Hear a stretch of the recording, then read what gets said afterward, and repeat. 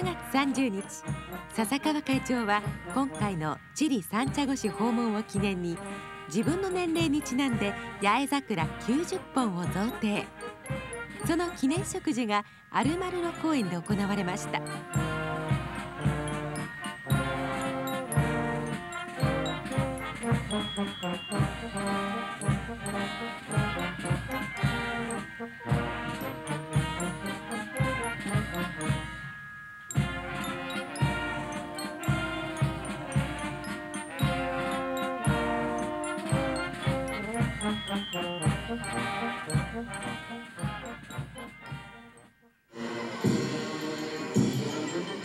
午後各国代表チリ消防関係者チリ義勇消防隊らおよそ1万人が参加して盛大にデモンストレーションが行われました。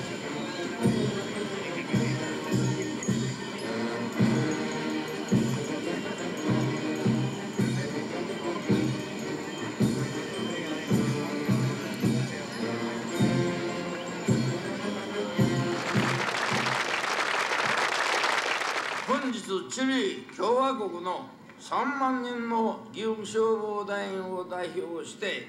ここにご参集くださった義勇消防団員の皆さんチリ国民の絶大なる信頼と支持のもとに人々の生命身体財産の保全のために昼夜の別なくご活動をください。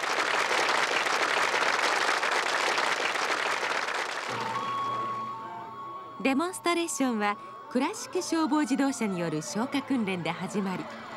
救急隊員によるはしご消防車からの降下訓練など